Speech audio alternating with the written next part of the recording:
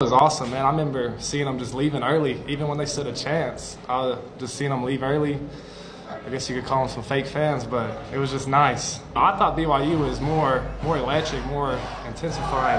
I didn't think I didn't think their fans really or the crowd really brought it like we were expecting. I think we had high expectations as to uh, what we were going to expect coming into the game with the crowd and how it could be a distraction, but I don't think it really distracted us one bit.